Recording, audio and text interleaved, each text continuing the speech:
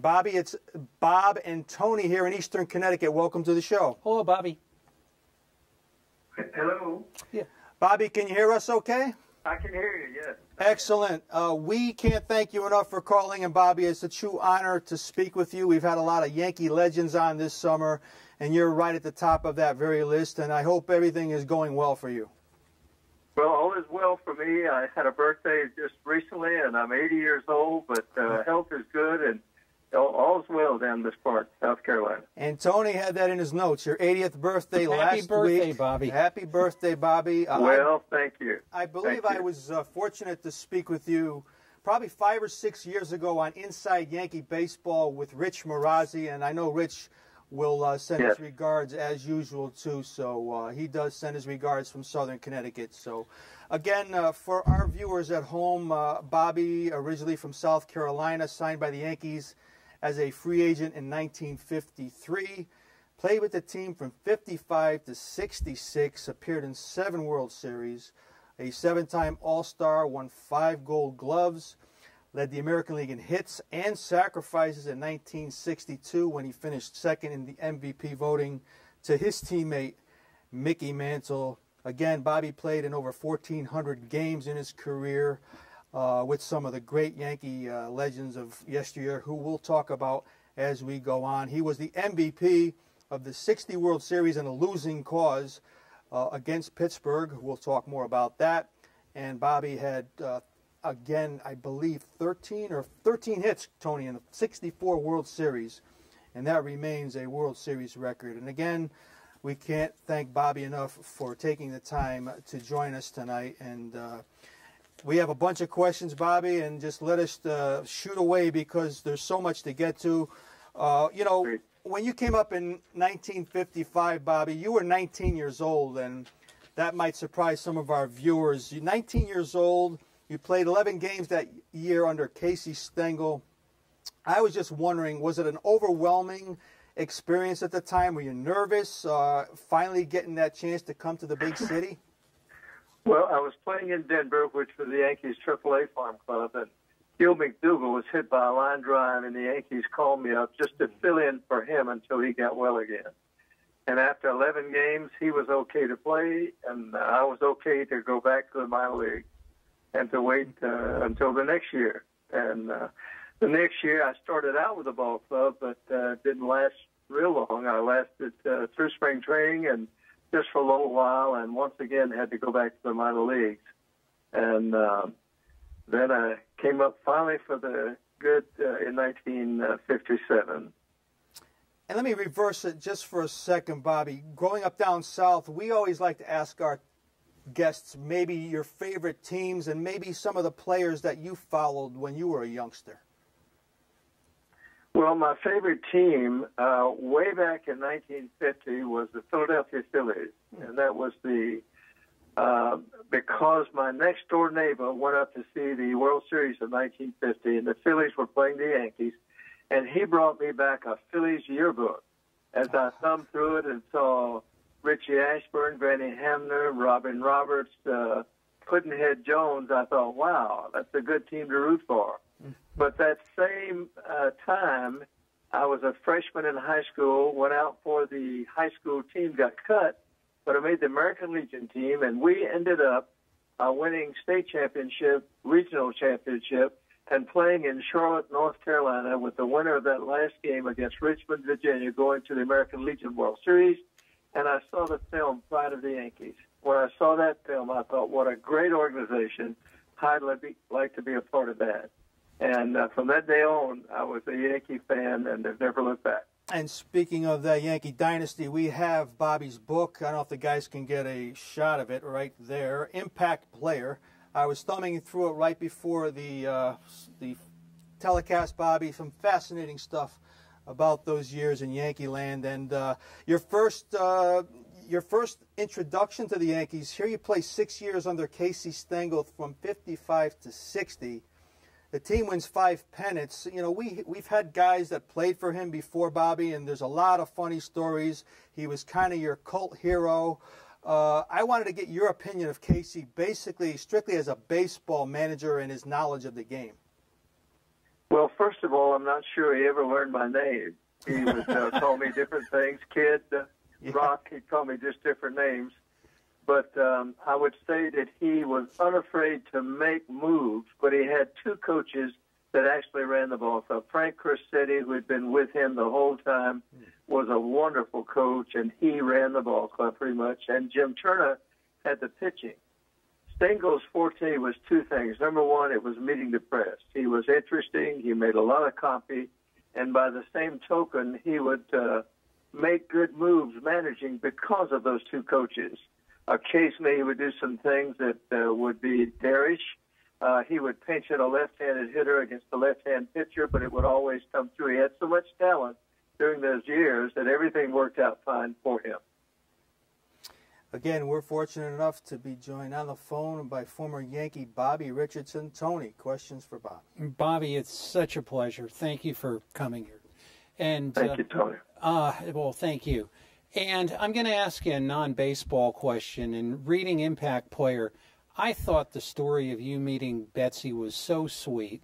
Could you tell us about that? Well, Betsy moved to my hometown from a little town about 20 miles away. Her great grandfather had a lumber mill down in Alkaloo, South Carolina.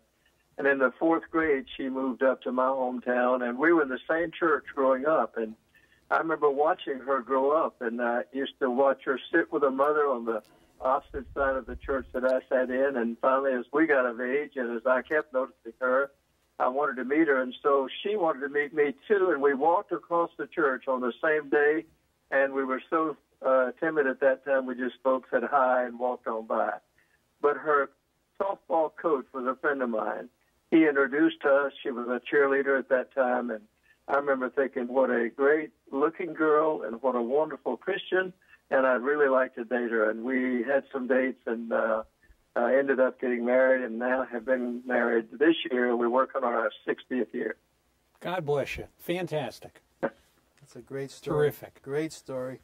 And um, as we had mentioned earlier in the show, uh, Bobby was the, excuse me, MVP of the 1960 World Series. Tony, of course, in a losing cause.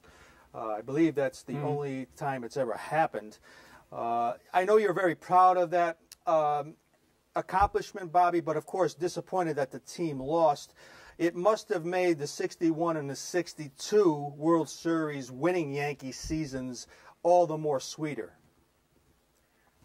It did that. I remember that in particular, Mickey Mantle was crying in the clubhouse, crying simply because he felt like we had a better ball club. We beat them by a lot of runs, and they won the close games and then Mazeroski hit the home run that uh, won the series for the Pirates. And he really was crying in the clubhouse. And so 61 and 62 when we were world champions, it uh, made us realize that we did have a good ball club. But in baseball, anything can happen.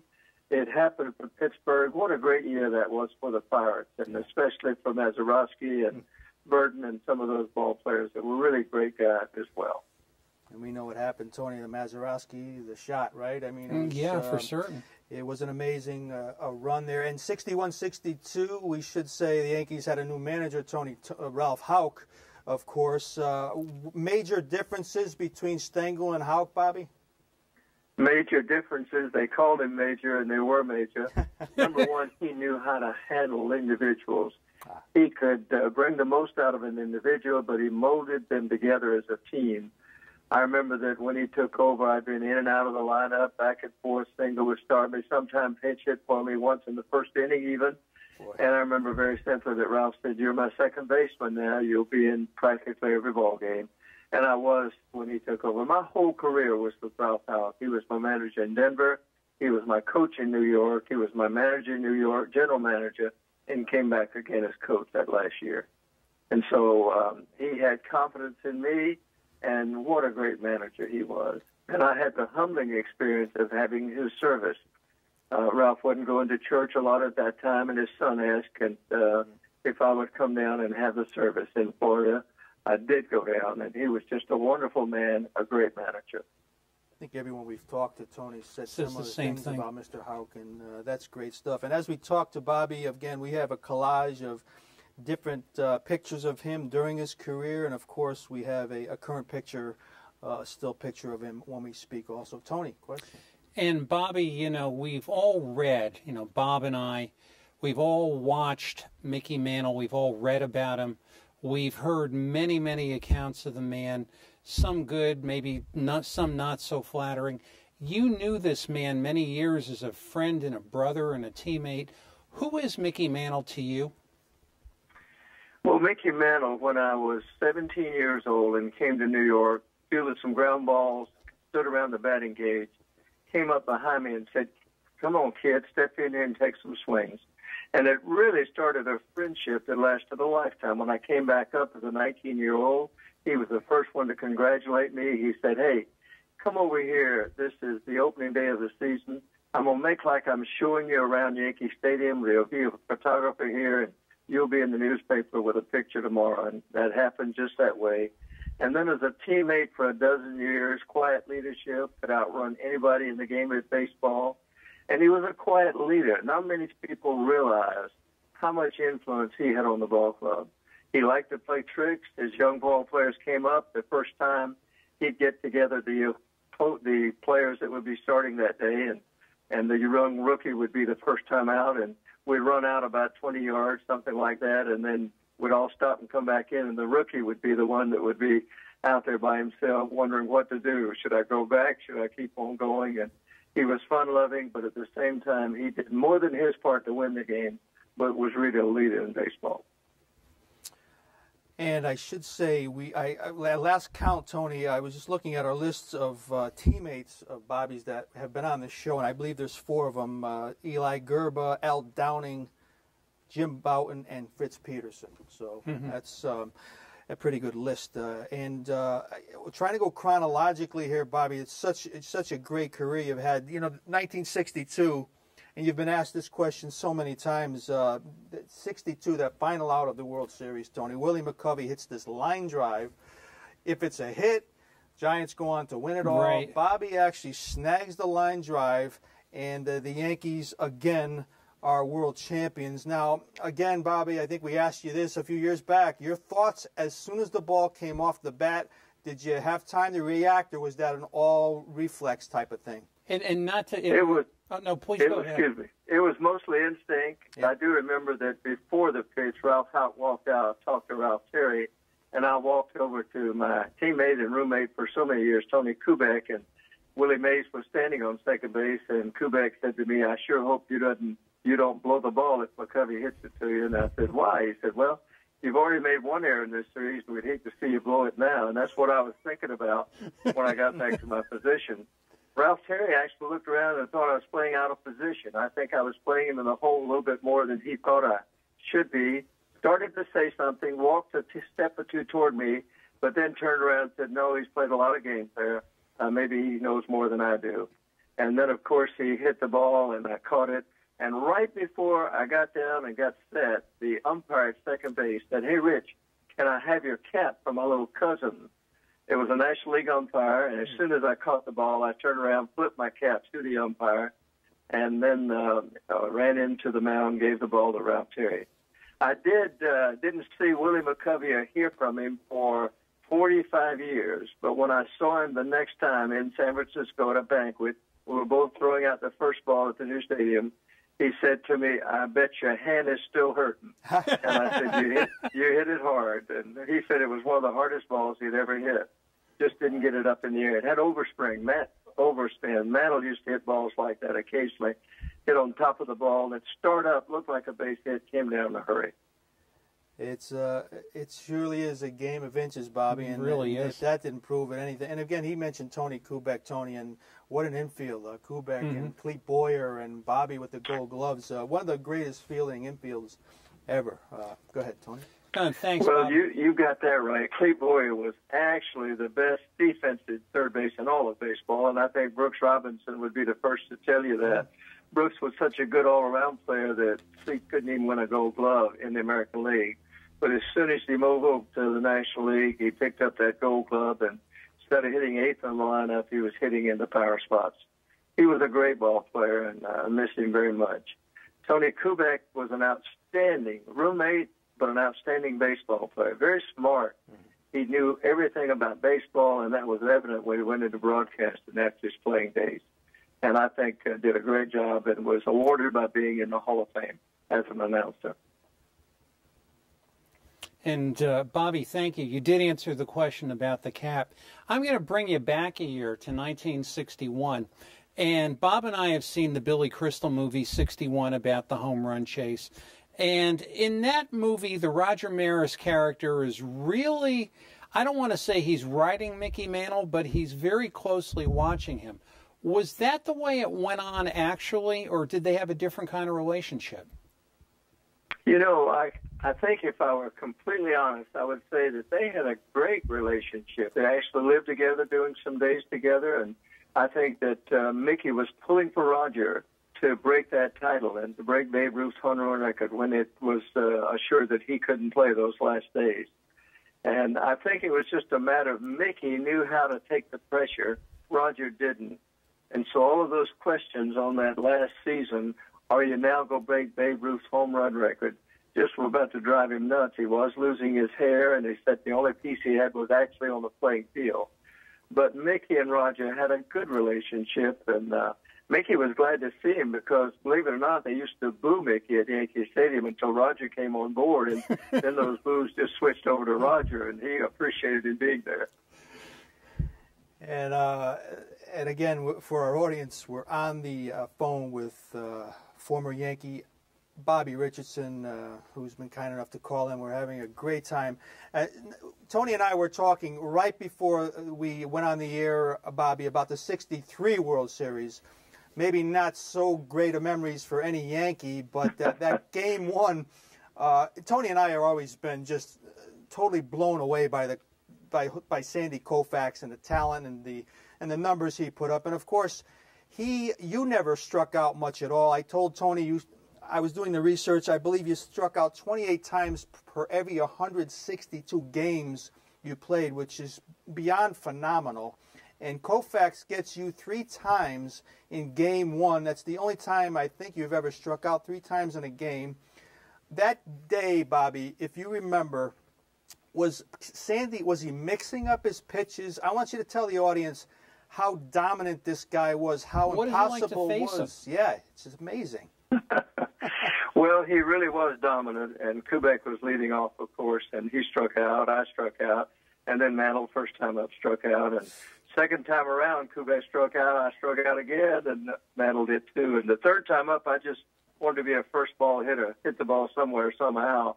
But I didn't. After Kubek struck out the third time, I struck out the third time. And when I was walking back to the dugout, Mantle was walking up, and he said, "No use for me to go up there." and he got him three times too. He had wonderful, um, first of all, control. His fastball would take off. His straight changeup looked like a fastball. The curve looked like it was dropping off of a dime with pinpoint control. Now, if you'll notice and read, he pitched the fourth game as well. Different background, different stadium, and it was a different ball game. He didn't strike out as many, but he was a dominant pitcher, and he won that fourth game. I think if you check, I probably got a couple of hits off him in that mm-hmm. in that uh, fourth game that he pitched. But uh, he wrote a book, and in that book, he said when he struck out the second time, he knew he had real good stuff that day, and he sure did.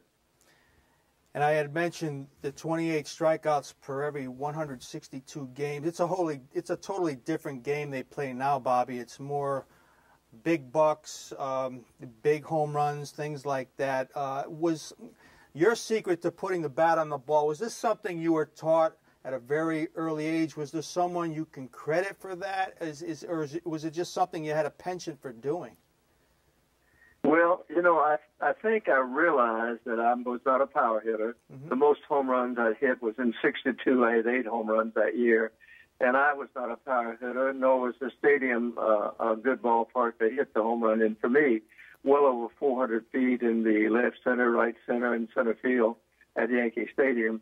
And so I felt like it was my job just to get on base. And um, everybody said, well, you don't get any walks. Well, I didn't swing and miss very much. That's true. But at the same time, um, you won't get many walks when you look at the guys coming up behind you. And it starts out with Roger Maris, Mickey Mantle, Moose Skowron, Yogi Berra, Elston Howard. So they didn't want to put me on base. I had to earn my way on, so no walks would come my way. And uh, I just uh, played at the right time with a great, great group of players that had an awful lot of talent.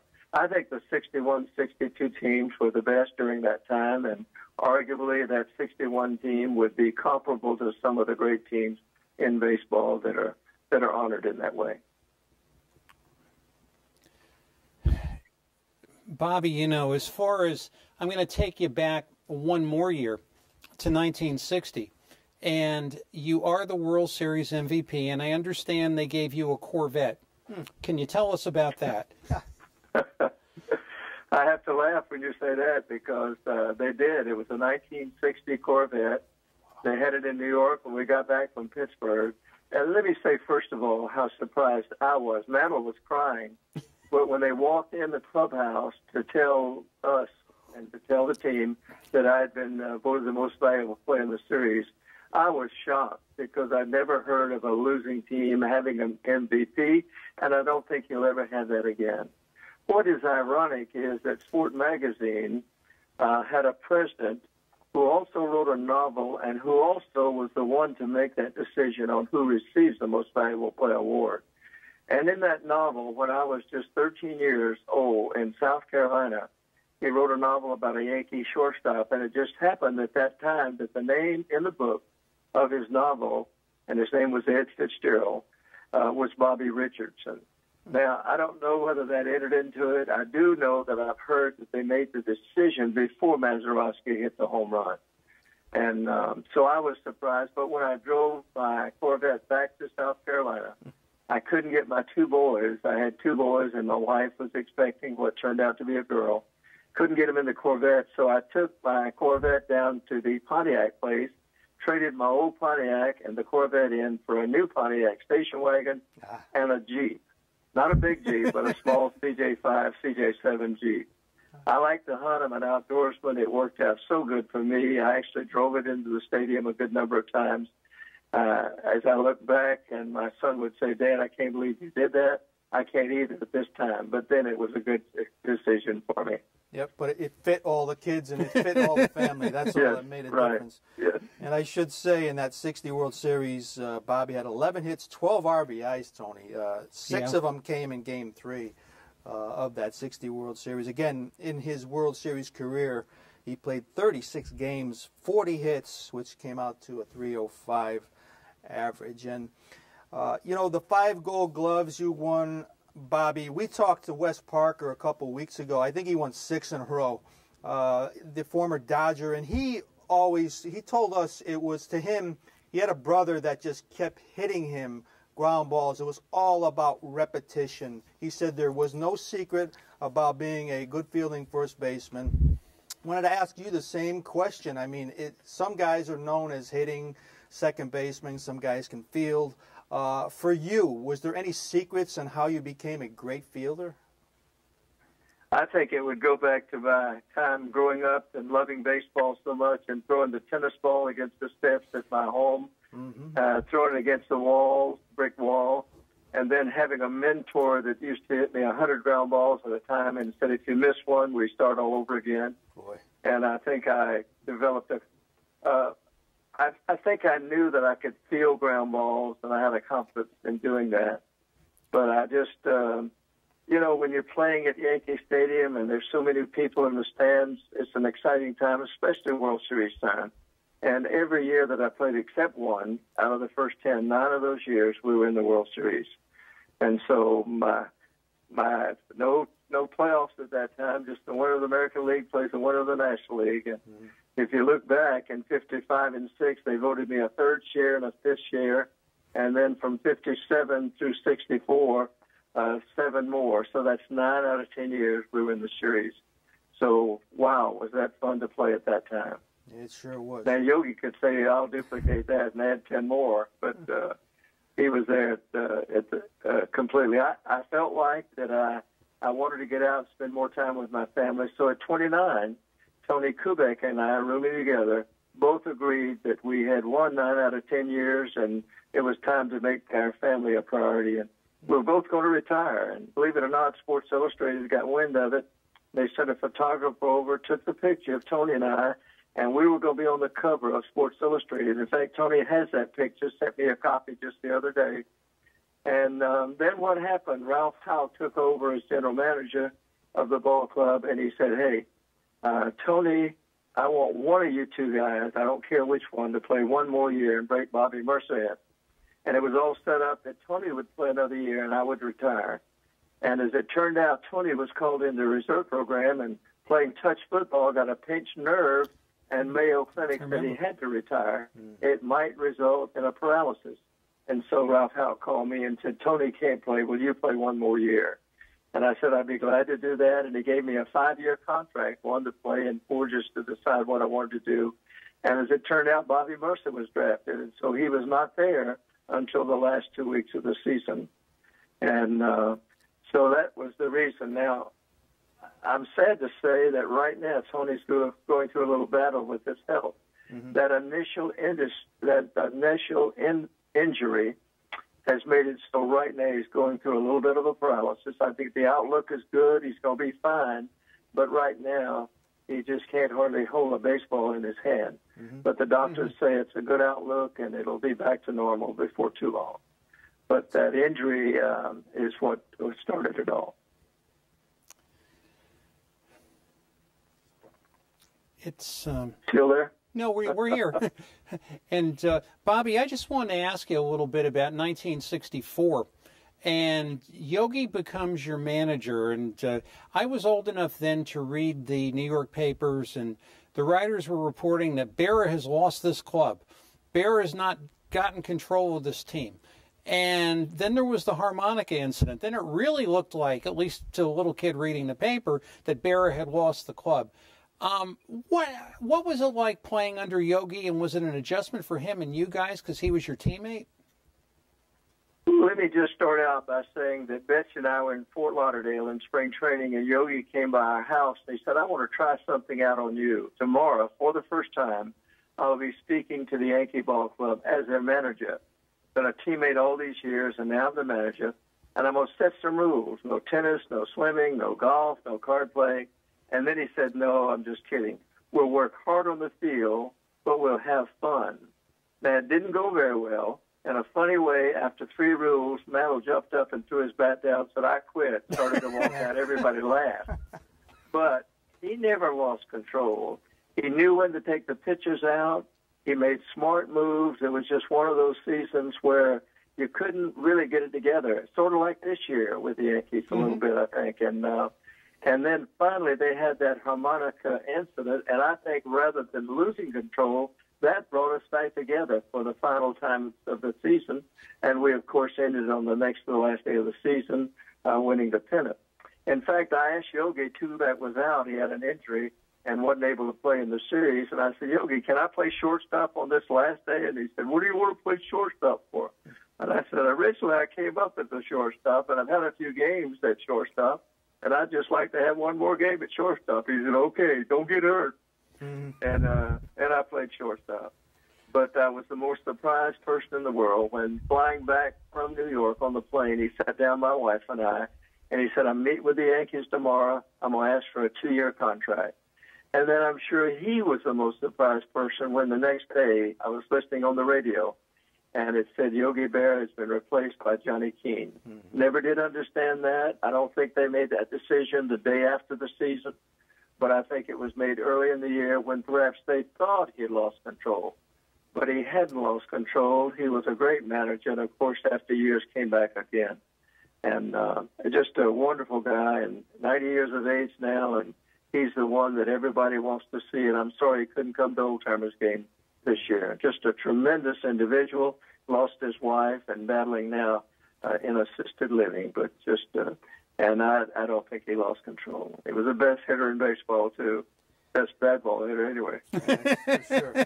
We've heard that from many people. Again, we just have a couple more minutes with Bobby Richardson, and again, we had mentioned uh, throughout the show how close you were with Mantle, Bobby. You ended up officiating at his funeral uh, I always like to ask some of our guests some of your other teammates that you've remained very good friends with over the years.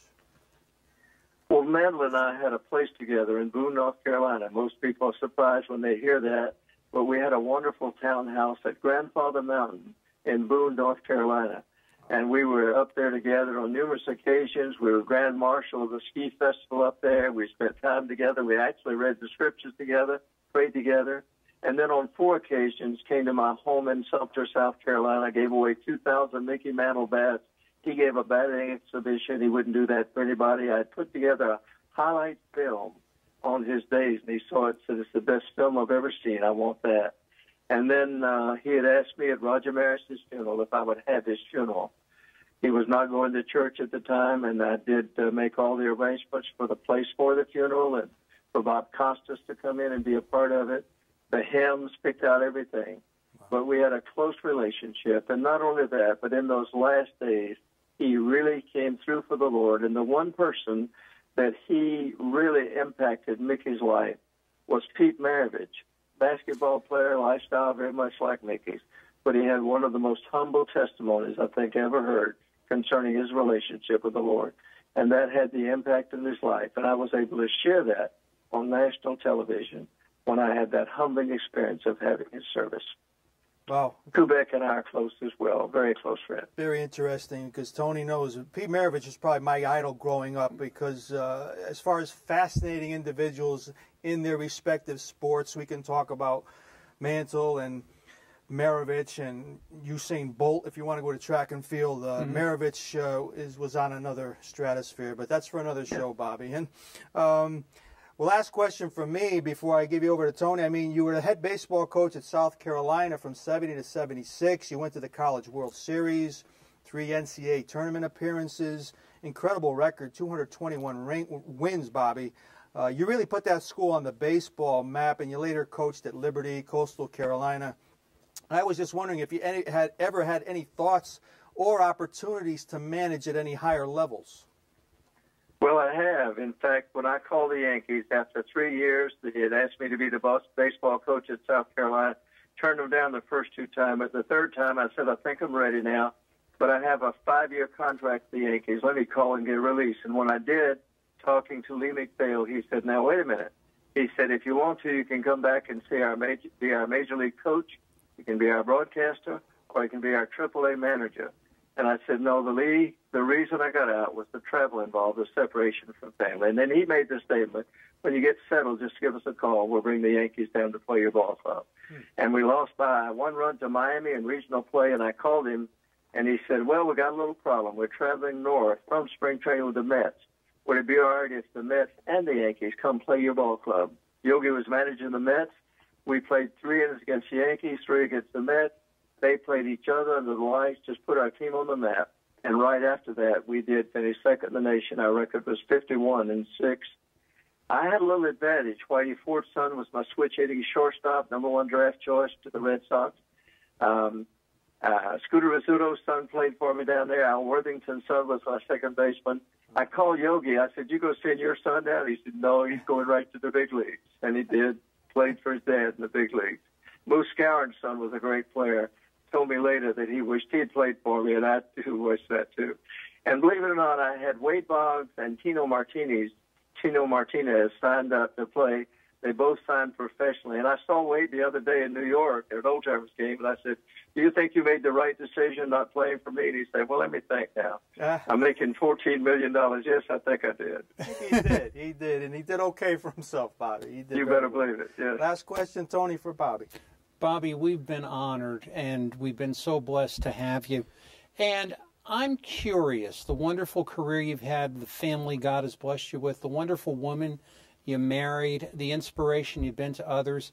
Any regrets you've had along the way? Well, you know, I don't think I would change anything. I have four new great grandchildren that are under 10 months of age now, 15 grandchildren, my family is all excited about the Lord, each one doing a wonderful thing, not only in the business world, but uh, with the Lord as well. And so I just feel like the Lord has placed me in baseball. And when I wrote the book, Joe Girardi wrote the uh, foreword in the book, it. and boy, he hit it on the head. I had uh, a wonderful time in baseball, and only two thoughts that I hope I played in a way that made made my team a little better, and secondly, that I had an impact on those that I was associated with on and off the field. And the Lord has really blessed all my associations in baseball. So many have gone on to be with the Lord now. And so that time in life, when I'm 80 years old, and family had a surprise birthday party for me. It was sort of like a memorial, 200 people there, and and it's sort of like you're there yourself, but it's not a funeral service, just a memorial service. great, great talking with you guys. Thanks for the call and well, thanks for the memories. Again, I just enjoyed so much playing in New York for the Yankees. We can't thank you enough, and again, hence the the name of the book, Impact Player, on the table right here. And uh, Bobby, we wish you and your family continued good luck and health and God bless the entire family, and uh, please keep us posted. And, and uh, thank you so much again for calling in tonight. Well, you're welcome. Good to talk to you. Appreciate it very much. Thank you, Bobby. See you Good later. night. Good night. Take care now.